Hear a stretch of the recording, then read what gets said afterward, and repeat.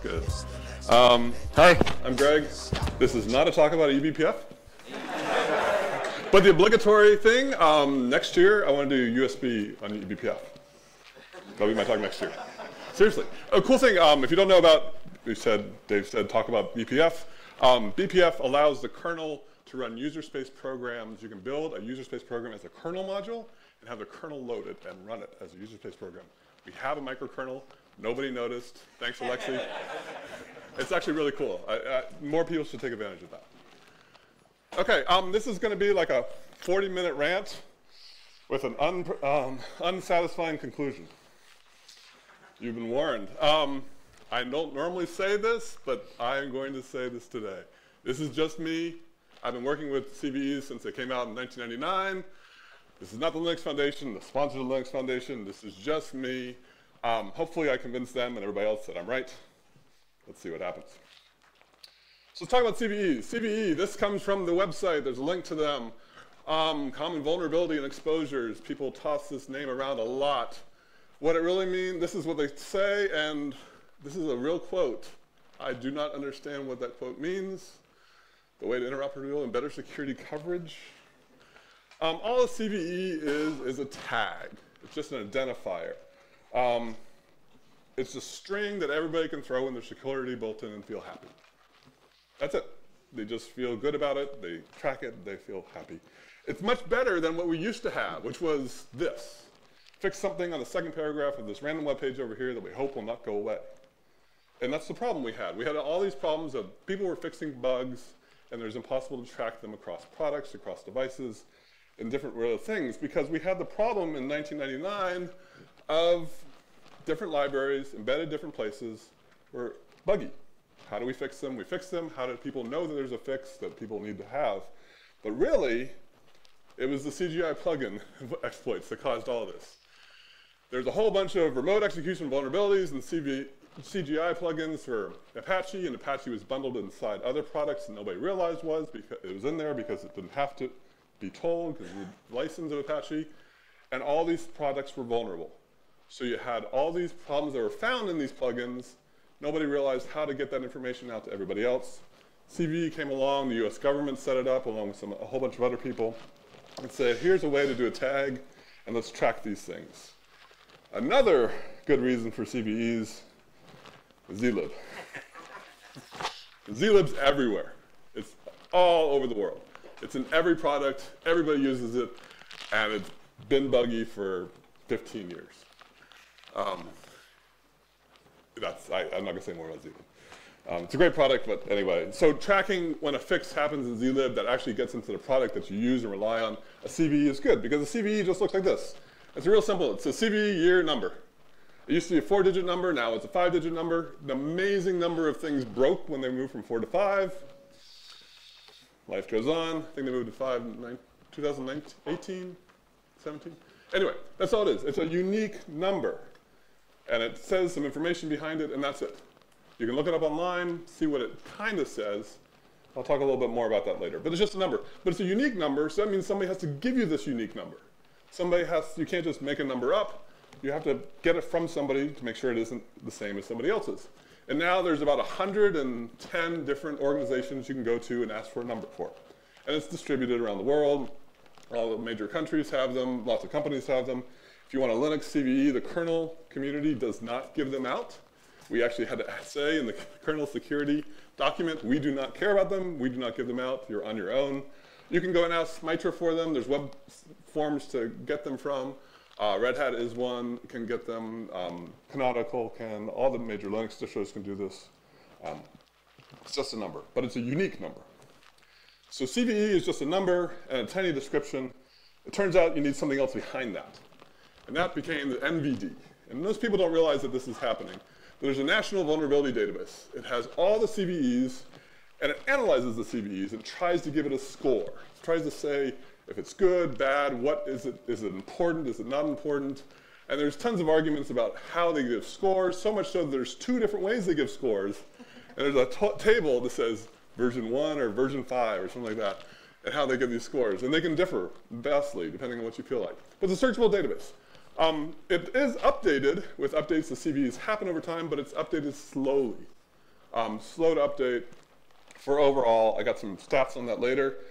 Um, but living not in the United States anymore, the word national is interesting. what does that mean? This national there means the US, like the World Series. All the world's the US, right? Um, there's other countries finally came up with their own idea of this because they didn't like just the US getting in on this. So China made one.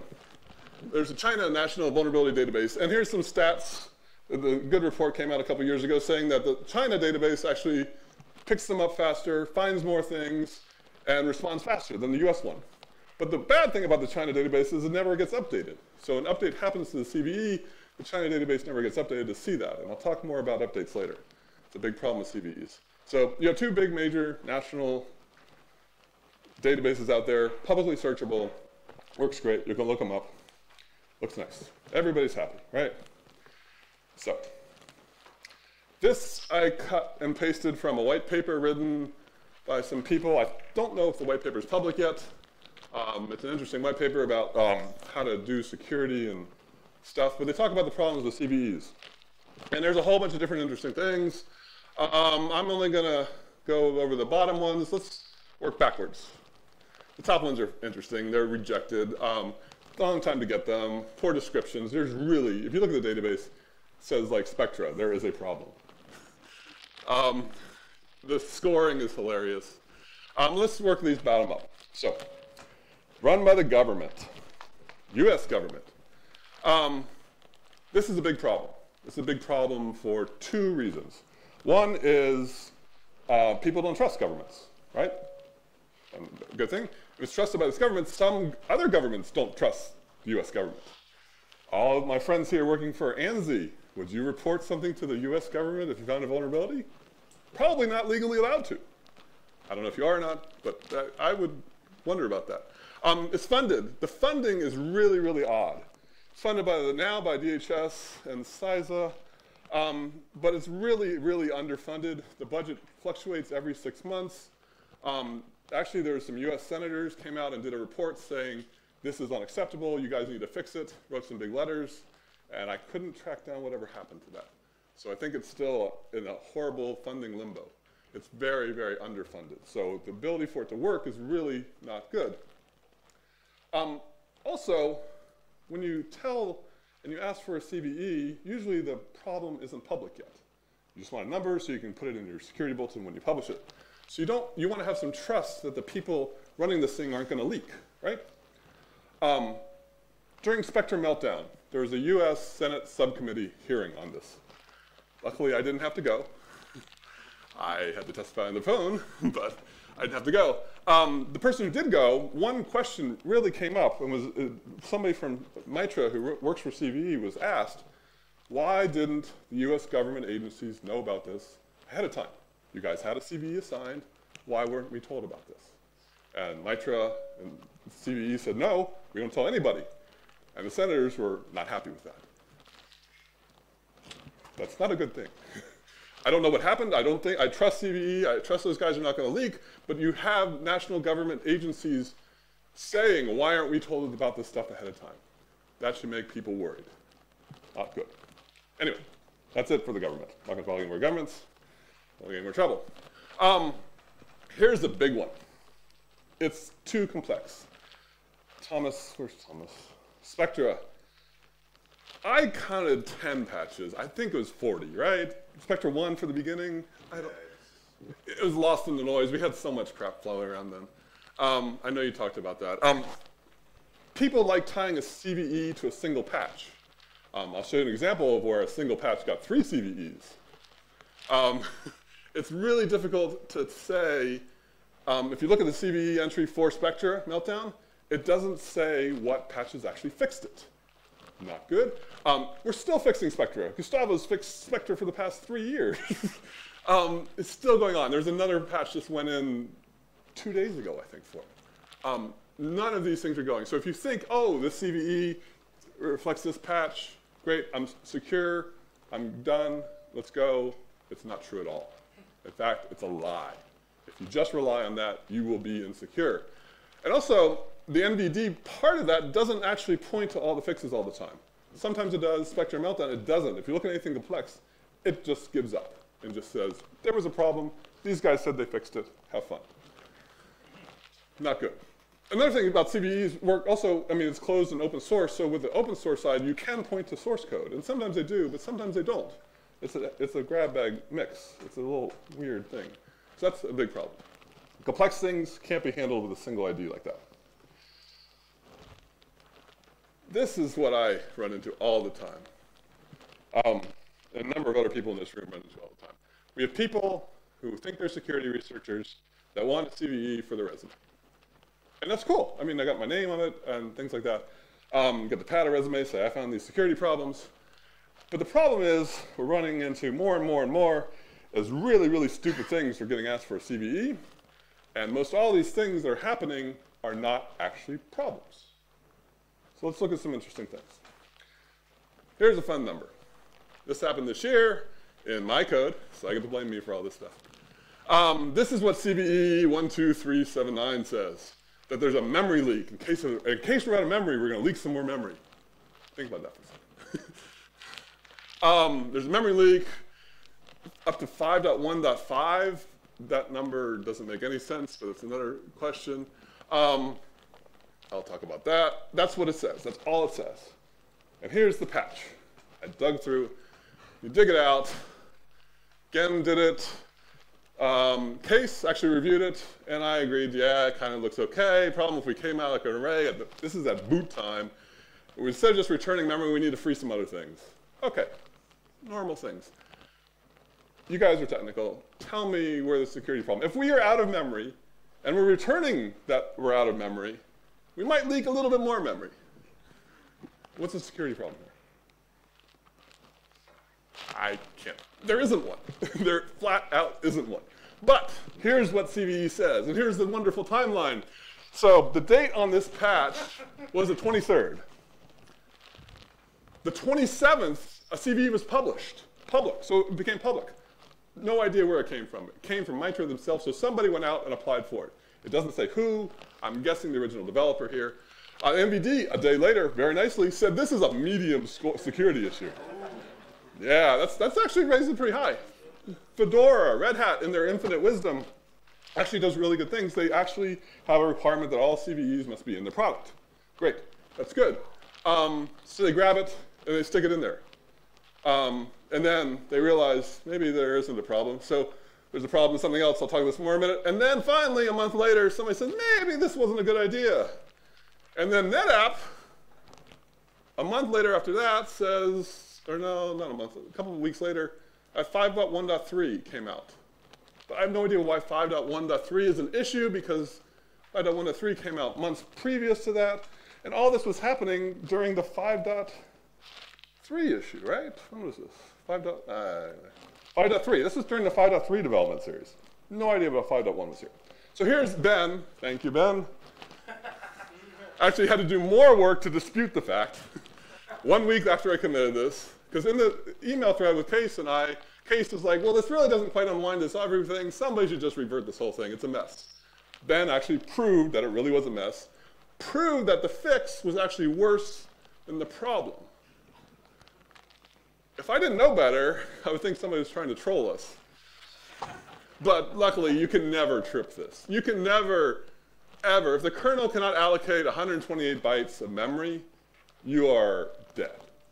I don't think, I think we physically cannot fail that call.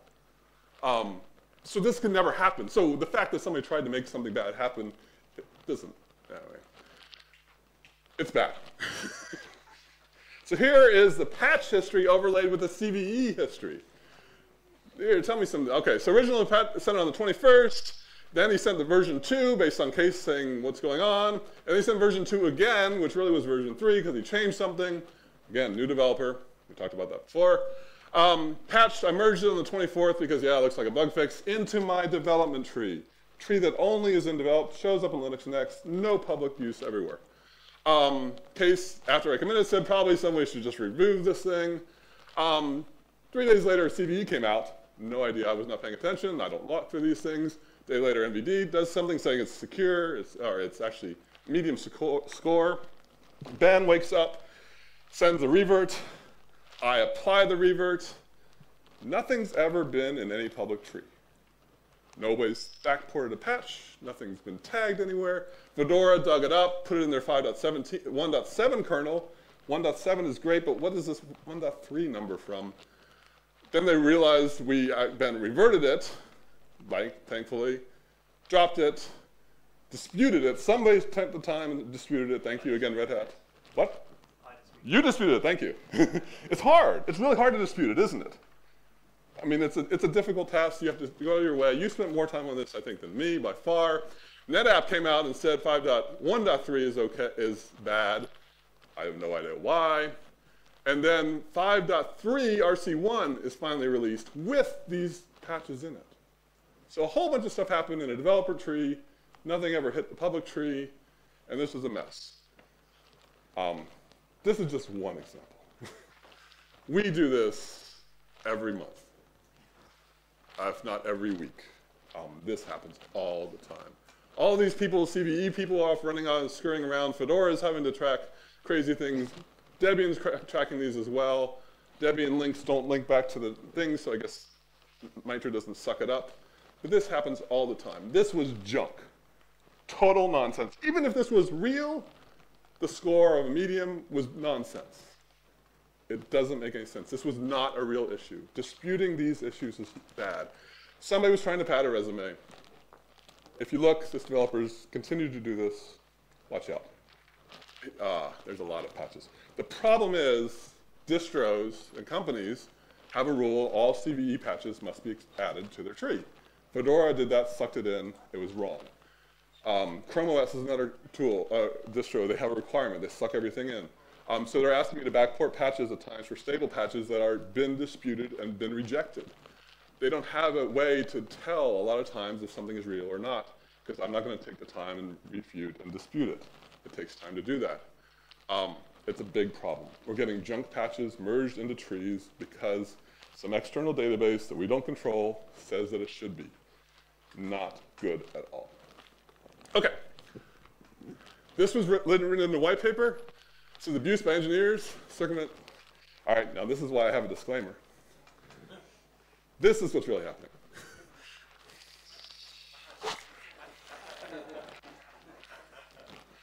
Some companies, for their enterprise kernels, have a hard time getting patches added. Oh, don't take a picture of this. All right, it's recorded, yeah. Um, this is actually true. This is what is happening. Um, some companies have a requirement that if you get a patch into their enterprise kernels, it has to be there for a reason.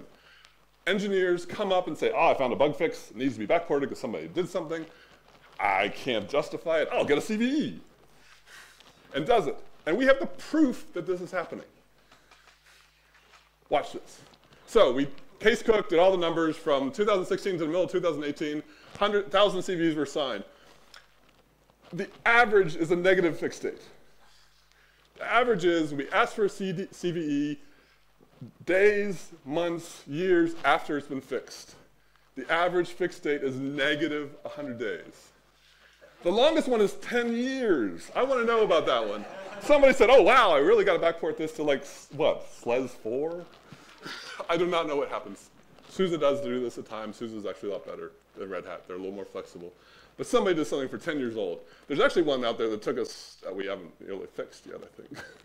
um, but the numbers are all over the place. The standard deviation for these numbers is over a year. That means people are abusing these to try and work around management problems. I don't blame the engineers for doing this. I would do the same thing if I were them. Create CVEs out of nowhere, just go away. This is happening today. Um, the updated numbers Kees said he'd do them. I haven't seen them yet. Um, but it hasn't gotten better. In fact, I think it's gotten worse. The average fixed date is getting longer in the past. that shows that these things really don't matter. They don't tell you anything, right? So this is what the kernel does today. I'm putting into the stable trees about 22 patches a day. That's 5%. That's actually pretty low. 5% is low. The numbers that Sasha and other people have run about says we should be running 10 to 15%. We should be higher. Um, he's ramping up the tools to make us there. That scares people. These are bug fixes that are in Linus's tree. They shouldn't scare people. These are things. Um, I release them one to two times a week, depending on my travels. I already did one one this week, maybe not. Um, the best thing is these are fully tested as a unified release, and I give them to you for free. So I've sat in companies when they uh, somebody says 22 a day, I can't keep up with that. Just tell me which ones I need. I'm like, I don't know which ones you need. Take them all. Oh, I can't take them all. Like, take them all. Why? It takes too much work. I'm like, I'm giving them for free. Take them all. And take them all because of this. I'm fixing a known security problem once a week. I know there's a security issue in there once a week. I'm not going to tell you what it is. I know what they are. Because they look like any other bug fix. I'm also fixing things that really are security fixes that nobody realizes. And that happens all the time. The Linux kernel security team, we fix things, we move on, and we keep on going. A bug is a bug is a bug. We're not going to take the time and effort to figure out what was a bug, what was a security issue or not. Infamously, again, I'll blame me, in the TTY layer, I wrote some code a long time ago. I fixed it later, a couple years later. Three years go by, Red Hat says, oh look, I'm getting a CVE for this three-year-old bug fix you did. Because it turns out you can root the box. I wrote the original code, I wrote the bug fix. I had no idea it was a security issue. They got a negative date on their CVE. they were happy, they backported it. Turns out RHEL, whatever it was, was vulnerable for three years to this problem. Anybody that actually had updated and taken a new kernel was not vulnerable. And that's the thing, you have to take these updates. You have to take them all because again, a thousand CVEs over a decade, very, very few CVEs are actually being assigned. They're getting more because more people are paying attention to it, and I have people come up with these graphs at conferences and say, why are there so many CVEs? I'm like, because people want resumes. Um, but very, very few happen. Again, kernel fixes do not equal a CVE. Um, best part, CVEs don't say anything about follow-on fixes. We've had Spectre Meltdown fixes, Meltdown especially, or other Spectre issues, fix this week, fix next week, fix the week after that fix a month after that. Never, ever modified. If you only cherry pick them, companies say, I'll just cherry pick it, you have an insecure system. And I got proof of this in a minute. I'll show you. I actually have numbers. So I've said this in the past. You're not using support administrator. You are running an insecure system. Since this is a friendly crowd that nobody's going to take a picture of this, I will say this. And I have the numbers to prove it. Look at what Red Hat's doing today. They know that they have to cherry pick things that were done a year ago, a year in the future, a year ago to their old kernel. Uh, I can't think which way it goes what. They're having to grab random pieces, grab a CVE, and backport the hell out of it. If they had only updated the whole thing to all the LTS releases, they would be secure. It's that simple. You want to know how to break a Red Hat box? Look at the tree. You want to know how to do any of these other ones? Look at this tree. You want to know how to break your phone? So, I've audited lots of phone trees. Um, I'm not going to say what company this is. I think you can figure it out by reading the slides. Very popular phone, came out in March. It shipped with the 41485 kernel. At that time, it only added 3 million lines of code. What can go wrong there? Um, they're only running 3.9 million lines of code. It's really weird. Um, anyway, so I compared it. I did this audit in May, so it was obviously going to be a little bit behind, but the phone was in May. It was shipping. It was in my hand. I actually was using it. I'm still using it. I'm not going to use it anymore um, because I looked and they still haven't fixed their kernel. Um, so they grabbed some. They cherry picked some random patches, some F2FS thermal logging cleanups is the best. Why were they caring about print case? And maybe that's certain chip specific fixes. they swore that they were only taking all the things that they had to have. They looked through them all, they read the logs, and years ago, like two years ago at this conference, I proved that nobody reads the logs and crashed everything with a patch that Thomas wrote that said, here's the problem, here's the actually how you exploit it, and here's the fix. Nobody ever caught that. These guys mixed 12 documented CVEs. In the changelog itself, it said CVE something. We rarely have them. They were documented in the networking stack. You could remotely crash the phone on a Wi-Fi network. Uh, HID, horrible HID problems we've had over the years with thanks to fuzzing. We're finally fixing them all. And here's all the things they really, really missed. Um, the best one is their spin locks aren't working right now. They don't realize it. Um, I'm going to wait to see what happens there. Um, all those fixes that they missed, all those things that actually affect them. The best thing, um, worrying about people like, there's so many changes, I don't care about them all, I just want the ones that affect me. Um, the Google Pixel phone has a script that when they do a merge from an LTS tree, they actually go through, and in the change log, they show you, in the merge change point, they show you what patches actually apply based on their build configuration. They test that. And there's only usually a handful, because out of those 22 patches that happen a day, only a handful actually are in the stuff you actually run. There, they can see what they, and they audit those, they look at them all, they say, is there a problem or not? That's the best way to do it.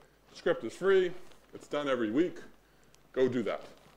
These guys were not doing that at all. And I'll talk about Google again. The Google security team last year did this work for me, or for other people. They gave it to me. They tracked every single thing that they told the developers that they, they have a big tool that they call Vomit that searches the web and grabs anything related to a security issue and shoves it in there and says, go fix this. Every single thing that they found and told the security team to fix or that was reported to them other places was already fixed in the LTS kernel. Every single thing. The only thing that wasn't fixed out of those, what, 17 patches was due to out-of-tree code or a feature that was backported incorrectly. Everything was fixed before they knew it. Because of this, Google is now requiring Android devices, if they're certified, to take LTS kernels at a, some cycle. I'll take six months. Three months would be nice. Um, I will call out Sony, and I'll call out Essential. Those guys update their kernels every two months with the latest LTS kernel. They've been doing it for over a year, maybe two years now. They do a really, really good job. Those two phones, I can really say, are very good. Um, Pixel is getting better. Pixel ones are doing, I think they're lagging about four or five months, but at least they're there. Um, hopefully, with the new Pixel comes out, they'll, they'll do something else as well. So this is a real problem. These are the devices that Linux runs on. 2.5 billion instances of Linux are Android phones. The cloud, supercomputers, is a drop in the bucket. It's a rounding error for these devices. This is where Linux is the most, and this is where the security matters the most. If they grab the LTS fixes, they grab all those things, it will actually be a secure device. That's why Google's doing this, and I really, really am happy about it. So, sad talk, sorry. so, CVEs are broken. They don't work for us, right? How do we fix them? We can do a bunch of different things. We can ignore them. I like this. We're doing this today. well, not really, because some people do care about them. Some people do this. I say we should just ignore them. Great. Um, Thomas and I and a few other people sat down with some people from CV and Mitre and came up with an idea. And this was floated by the other people. And they said, we know. We know it's a problem. We know this doesn't work. Burn this to the ground. Ask for those 22, ask for a CVE for every single patch you have to the kernel. Um, I got approval, and I got somebody to say that they would fund it if I wanted to do it. It would be a fun, it would be a horrible intern's job for six months. They go crazy, they hate me. Um, it's a horrible task to fill out these things that actually ask for CVE. Um, no, it, it, maybe, but we know it's broken. Let's not just try and abuse the system. It might be fun to watch Red Hat scramble, but I'm not going to do that. So, we're engineers. We like building things. Let's make something new, right? We can do this. We know how to solve this problem. We have, since 1999, we got prior art. Let's figure this out. What do we need to do? What are the requirements? First off, be a unique identifier. Works great. Distributed. We've proven that asking for a number from another person doesn't really work. They've gotten better. There's 100 different people, uh, places you can ask now. It needs to be distributed somehow, right? Be able to revise it over time. We should search it. It should be public. All good things. These things are things. Revised over time is important. We need to have this. So let's look at a patch that we do. This is a patch that Ben did, the revert one. So it says we revert this commit, and it fixes that commit ID. We say revert. We're doing these things. These commit IDs are up there. Commit ID 15B3. This reverts commit 84UC. And Mitre and CVE actually references these. They say, hey, look, and they're pointing to my testing tree, which is hilarious. Testing doesn't can be rebased. That was bad. Nobody ever rely on testing tree. Um, they point to these Git IDs. Luckily, they stayed the same. Um, these are the Git IDs. So Mitre's already using Git IDs. Wonderful. Git IDs are cool. So here's another one. This is great. One patch, three CVEs. If you look at the patch, it's like fix, fix, fix. In the kernel development community, we require patches to be broken up into unique pieces, one logical piece per fix. We are, I don't want to curse, we are obsessed about this. We have to make you what, break it down to the tiniest possible piece. This was acceptable to the Linux kernel community as one logical change to the kernel, yet three different CVEs. Ah, okay, I'm not going to call uh, you can get a lot by CVE people. Anyway, this is a commit. It went into 419, I think, or 5.3, I think. Um, commit ID 5C or 7C, whatever. And when I backport this to the 419 kernel, I always put in the commit ID, commit 7CA. So you can track these things. We track these things around. Yes? Where's,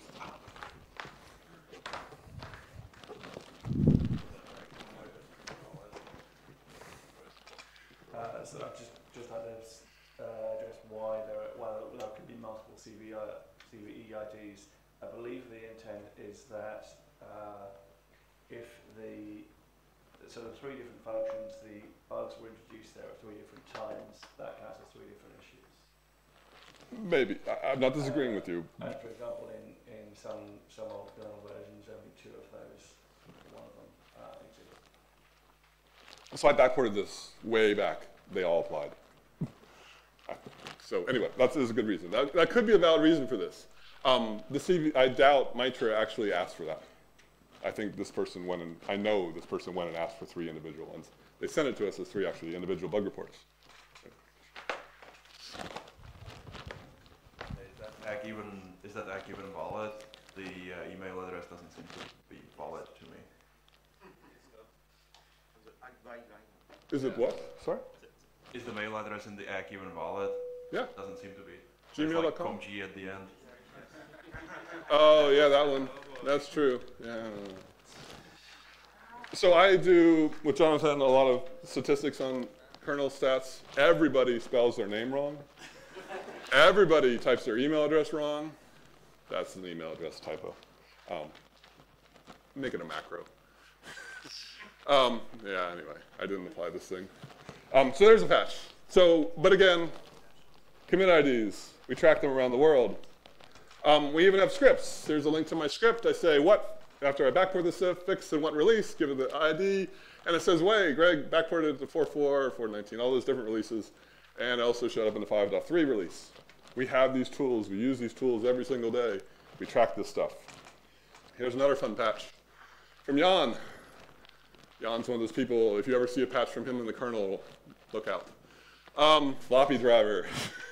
Turns out we were copying data the wrong way in the floppy driver. Nobody noticed for 20 years. well, no, actually, no, not 20 years. Actually, it was only a couple years. Um, yeah, anyway, he fixed this. But he says fixes, he fixed this commit. So we can track that 29B, we can see where, how far back we need to track this stuff. And then when we backport it to 419, it has the commit of where it fixes, and the commit ID that. And if I say, where was that original 229? And I said it really showed up in 4, it was really showed up first in 413, but I backported to 49, 187, 44, 187, so I got to backport the other one to all those different ones. So we are doing this today. So we've been doing this for 14 years. Why doesn't everybody notice? Because nobody knows what we've been doing. It comes down to that. So how do you solve the problem when nobody knows what you're doing? You don't get a lawyer. You get the second worst thing.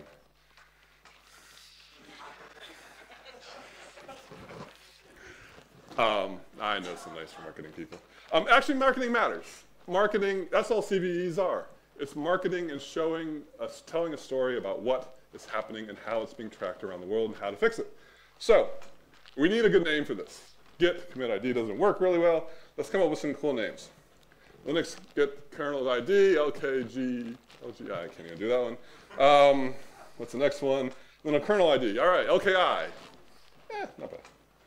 Um, Linux commit ID, because I don't want Linux kernel realize a redundancy because Linux is the kernel. I don't want to argue with the GNU people. Um, Linux commit ID. Nah, okay. How about kernel git ID? That's getting better, but it really is a Linux thing, maybe. I don't know. But we want to do other people to do this. So git kernel ID. Because, but there's other kernels out there, and we want other people to use the same thing because they use git, so it isn't a kernel thing. And how about this one?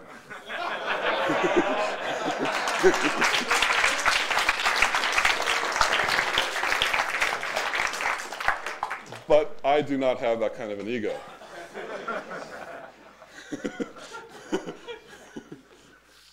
Get hash ID. Eh, we're getting better. But what have I been calling it all this time? What have we been calling it for 14 years? It's really just a change ID. We've been calling it this, or a commit ID. This is a unique identifier that is worldwide, hopefully unique because there won't be any collisions. It works today. This is what we have. Let's use it. Let's talk about it. It's a CID 12-digit hex number. Easiest thing to search for. I wrote up, I bashed together a horrible shell script in about a few minutes and said, pull all the CIDs from this old kernel release. Boom. Those are all the fixes that were upstream that were already in that release. Those are all things that should be backported because they all fix something. They're always a fix. Sometimes we add a new ID. Um, I don't even see one in this one. This one's from 419 to 419.1. So I think it was just stuff Dave sent me for networking ahead of time. Ah, here's another. Here's another Spectre. Again, we're fixing Spectre things constantly. Um, take them all. Here's the IDs. Put them in databases. Track them around the world if you want. We have these. You can clone them. They're there. Let's just use these today. So, how do we fix them? I suggest we just do two things. Ignore them, and we rebrand what we've been doing. We need to tell people how to do this. I talked to other software projects, Kubernetes, um, other cloud stuff that use Git. They're like, yeah, that makes total sense. Why don't we do that? Let's just unify this. Backport the thing you want, use the Git ID, you can track it, you can write your own scripts. I mean, it's a tiny little regex for it. Use what we have today. The change ID, just do that. That's it. That's my whole rant. Thank you. Uh,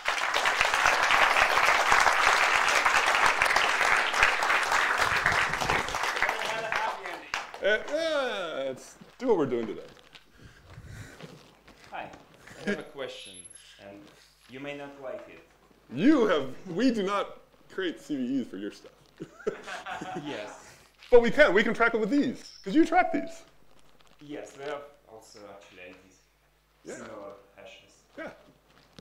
But I have a different question. So you're saying that you're issuing stable releases, which are fully tested as unified release. So Yes. just take them and use them. Yes.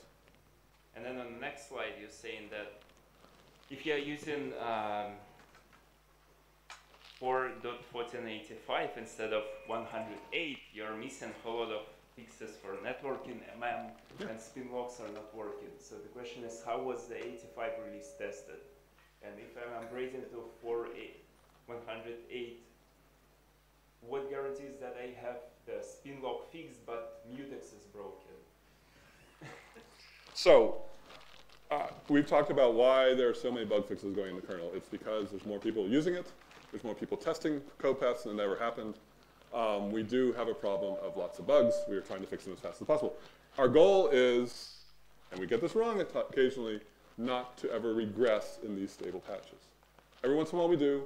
I think our average, our average today is 0.01%. It will happen, but I rely on testing. So Google tests the heck out of these things. Lots of other people test the heck out of these things. Linaro has huge test frameworks, working with kernel CI to make better test frameworks. Test your device. I'll take a six-month delay to get to your device because you have to go through testing. Test it. Whatever you would have done for that original kernel that you blessed and thought was good enough. Just test it and make sure we didn't break anything. Again, 0.01% of the time, we might fail, but we're human. Most always, we have, have a very, very good track record. We have a track record of the past 15 years. You can see our track record. We have the history to show that we don't regress in stable trees. except at a very, very tiny thing, because we're human. But we have the spin lock broken in the stable. The, s- release, the, so sti- the sti- this no, no, the original. spin lock was broken in the original release. The spin lock was broken in the original release, and nobody caught it. The, s- the spin lock was broken for years. Yeah. And somebody tripped over it because we had a, we noticed that there's stuff just spinning and not making progress. So it got fixed upstream, and, but, but of course you want to have it backported, and it was just an event once out of, in a blue moon. So it, it made eventually progress when the interrupt come in, but it's a problem which needs to be backported, and you don't want to have that problem on your phone. No, and that actually problem when you have when you ship five million phones every couple months. It was actually showing up. I did see it. For most of the Syzkaller fixes, I'm not seeing any tests. Uh, so how do we ensure that we don't regress? Um, I I don't know. That's how do we test? We run the syzkaller to make sure we test. We have functional tests, so we have a lot of tests. We have more tests now than we ever have. I'm not saying we have enough. We need to have more. I, that's like, I mean, that's apple pie. I mean, that's I would simply respond that uh, by upgrading, you are taking 0.1% chance of hitting a regression, and by not upgrading, you are taking 100% chance of keeping 1,000 and I don't remember how many unknown bugs. Yes, that's the other good point. That's the other way. It's, it's what? Do you want to be known vulnerable to all these issues that everybody knows about? And I can break, break your machine easily because it's public? Or do you want to take the chance of a 001 or 01% chance that one of those patches was wrong? What's your odds? I'll take the, I'll take the second.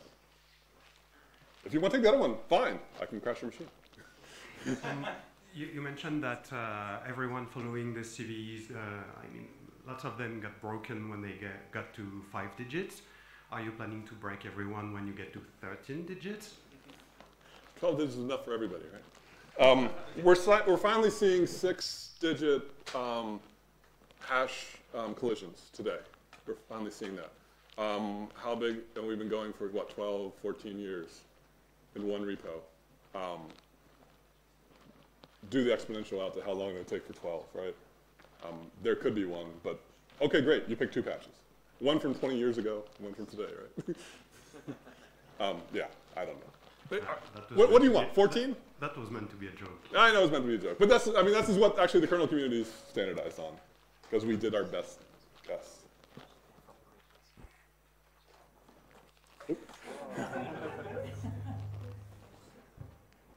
Hi, thanks for, for the talk. Um, do you and how do you uh, handle embargoed issues? Because the, the change ID is stable once it's committed in Linux tree. So,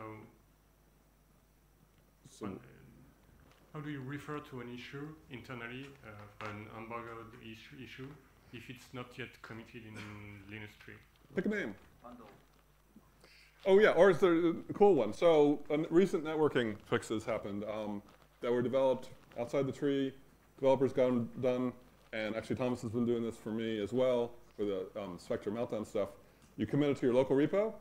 Now you have a stable Git ID. You send that bundle through email to Linus, to David, me. We suck it in that way, and you, that keeps the same ID. And we've done that already. So if you really worry about that, you can do it that way. And we've actually been doing this for two years. So we have history doing it. Okay, thanks.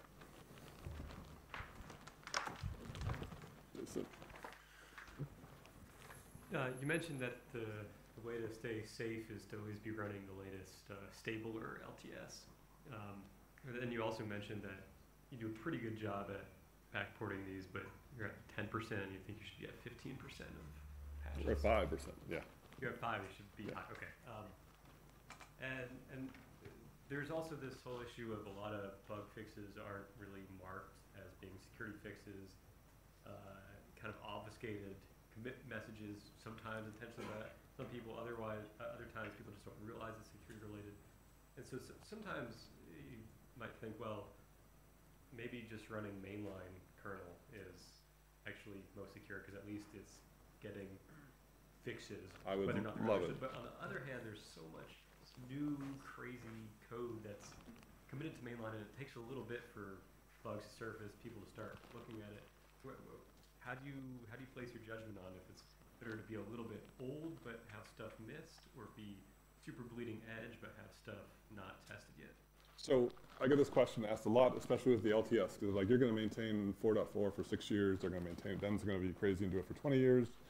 Um, hopefully not Ben. I'm sorry.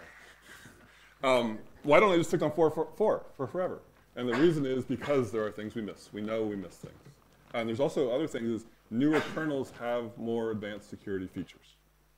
They have better they have better ways of protecting a whole classes of bugs from even happening. So you want to use those features. But how much bleeding edge do you want to do? If you use the kernel within a year, I'm happy. Just switch to that. Then we'll then we'll argue. Okay, nuances. But if you just do a year-old kernel, that'd be a major change in this industry today. And also, newer kernels go faster. Facebook has documented they run mainline on internal network, and they're getting performance increases every release. So if your data center has real power and real things, you might want to do main kernel. That's another big reason. You want those new things. So there's an issue that also comes up when you go back to like four four or whatever. You take a look at a particular bug and you see how important it is to fix, and you also then look at what is the pain threshold for the backport and how much risk do you have of adding a regression by doing the backport in the first place, and that ratio is exponentially down as you go back release to release. So that's another issue. Yeah, and we also have a very well documented, um, some people from one big company wanted some networking fixes done for 4.9 and 4.4 that were in the main one that didn't go easily. They backported them and they backported them wrong. And we, I think I just finally took another fix for them today. They at least have tests so they can test them. but yeah, newer kernels work better that way. I would say the newer one. So, but if you could just do a year, that would radically change the industry, and then we can argue about months, okay? All right, I'm going to be obnoxious. For Yes. I'm good at that. Um, I'm curious where the 0.01% regression rate number comes from.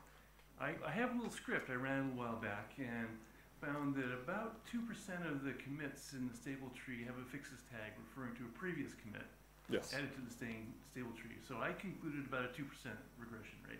So this came from the Chrome OS people who were, I guess it was a noticeable regression, and not a logical regression. So this is this is numbers from them. So they they did, and they have this really cool dashboard that they when they roll out new stable kernels, and they can see what fails and what doesn't. So that they gave me that number.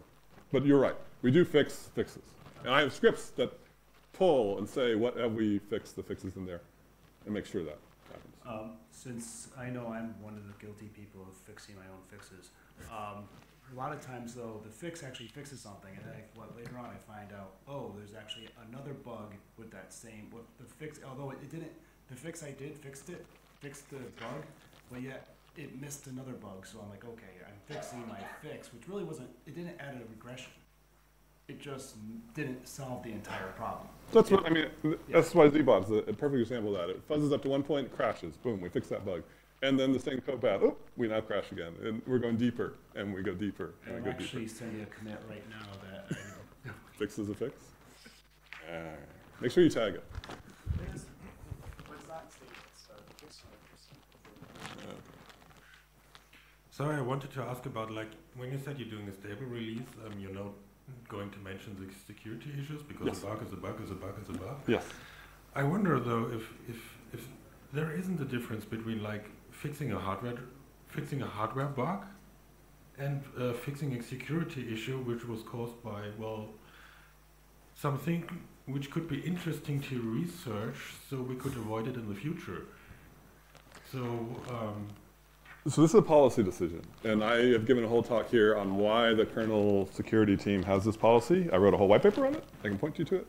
And there's a really fun thread, fun thread with Linus and some security people about why we do this. Um, I'll send it to you. But there's a reason why we do it this way. And I gave, again, I gave a whole talk here a couple years ago about that.